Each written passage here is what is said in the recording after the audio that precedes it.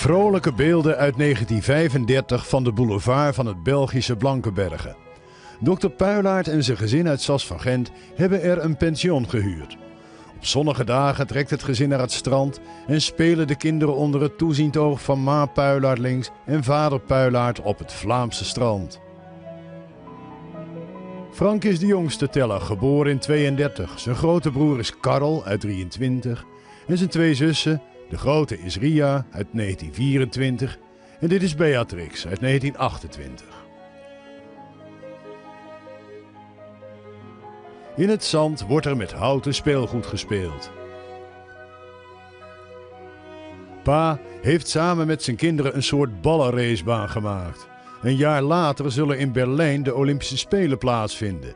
Daar wordt al volop propaganda voor gemaakt, vandaar de Olympische ringen in het zand. De kust bij Blankenbergen is halverwege de jaren 30 erg in trek, ook bij de Zeeuwen. Een paar jaar later zal het naburige knokken hier de meest populaire stek zijn. De kinderen Puilaard. Het is een dagje geen strandweer. Op de boulevard van Blankenbergen is er gelukkig vertier genoeg.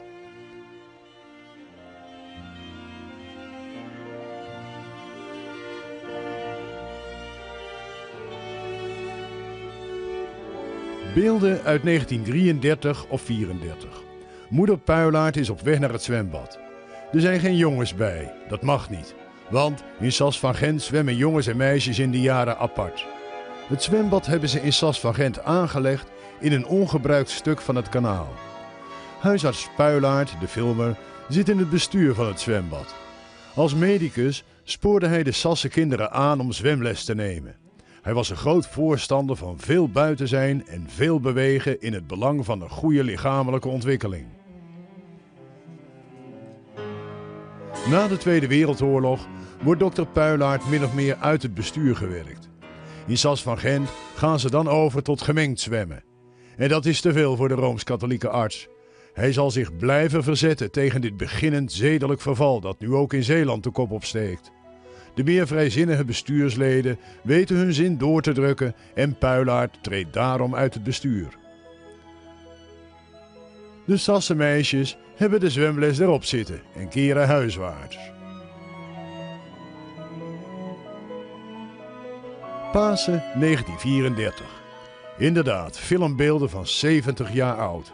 Het is Pasen en de kinderen gaan in de tuin eieren zoeken. Ter gelegenheid van dat feest krijgt iedereen nieuwe kleren. Kijkt u maar eens goed naar de nieuwste kindermode van 1934. Kinderen op hun paasbest.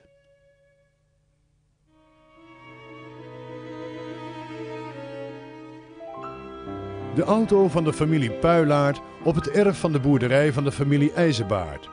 Hier stapt onze filmer uit zijn zogenaamde Hubmobile. Een auto van Amerikaanse makelij. In 1940 rolt de laatste auto van dit merk van de band. De boerderij staat op de Drie Schouwen, een gehucht net even buiten Axel. De IJzerbaardjes zijn familie van de Puilaarts, vandaar dit bezoek. Dit is het onderwijzend personeel van de katholieke lagere school in Westdorpen. De namen van deze meesters en juffrouwen hebben we na 70 jaar helaas niet boven water kunnen krijgen. Zoals reeds gezegd, bekommerde dokter Puilaert zich nogal om de gezondheid van de jeugd. Gymnastiek op het rooster van deze lagere schoolleerlingen is in de jaren 30 nog geen wettelijke verplichting. Puilaert weet de leerkrachten in de buurt te overtuigen van het belang van een goede werkhouding en filmt hier de vruchten van zijn werk. Een rechte zithouding, zeer belangrijk. Zeker voor de leerlingen op de dorpsscholen, waarvan veel kinderen later hun werkzame leven op het land zullen doorbrengen. Werk dat veel zal eisen van de ruggen van deze toekomstige boeren en boerenknechten. Een dorpsjongen die nog de nodige oefeningen zal moeten doen.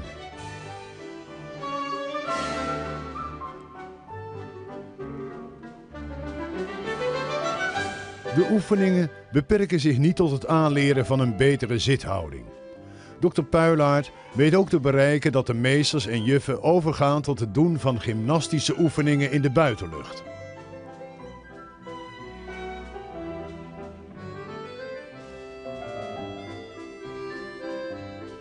Beelden die iets zeggen van de aanpak op een school in de jaren 30. Alles oogt heel gedisciplineerd.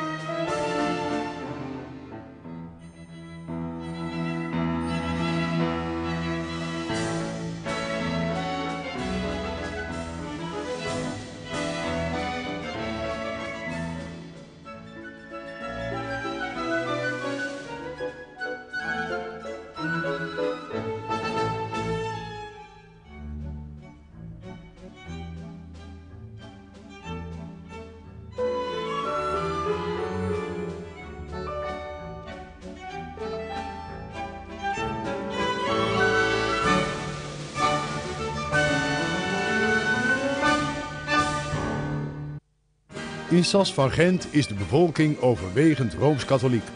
Geen wonder dat dat zo nu en dan ook in de straten waarneembaar is.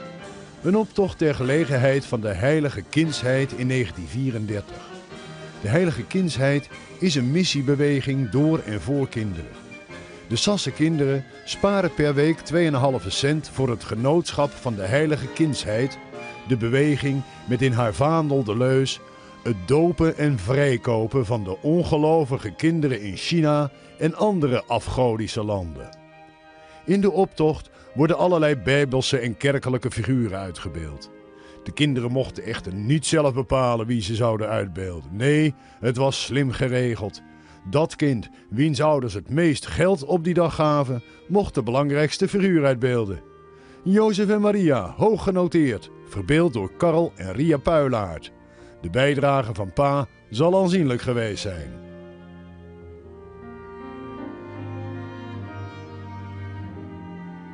Ze trekken over de brug over het Eerste Kanaal.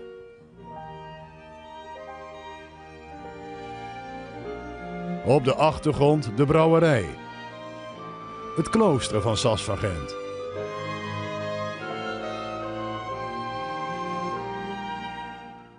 Gemma Hameling is het voorste nonnetje. Kinderen van wie de ouders niet veel hadden weg te geven. Zij kregen de rol toebedeeld van bijvoorbeeld een nog te bekeren negertje. En ze mochten onderweg rondgaan met de collectebus.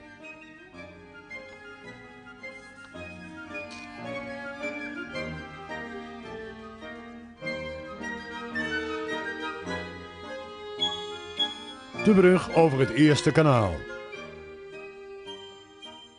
De stoet op de markt. Alles van het katholieke geloofsleven dat uitgebeeld kan worden, komt hier aan bod. Van maagdelijkheid tot de sleutels van het koninkrijk. En uiteraard herders en inwoners van afgodische landen.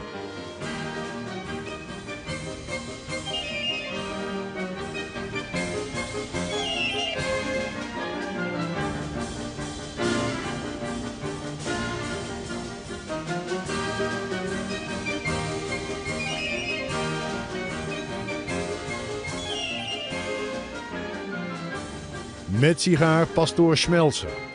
Uitbeelding van de ultieme roeping van de moeders. Zoveel mogelijk baren. En daar hebben ze in Sas van Gent goed gehoor aan gegeven. Beelden van kinderen voor kinderen in de jaren 30.